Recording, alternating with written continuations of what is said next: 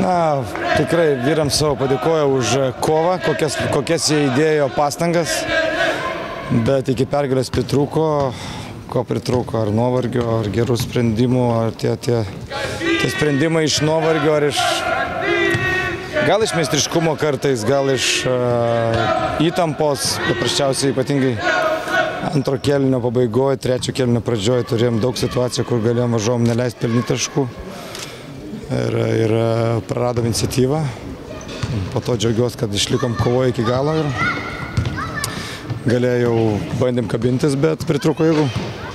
Ar turit rezervų, kad sugražint dar seriją čia į Panevežį? Na, Kaune bus sunku, žinot. Šitos rungtynės gali būti kirtinės.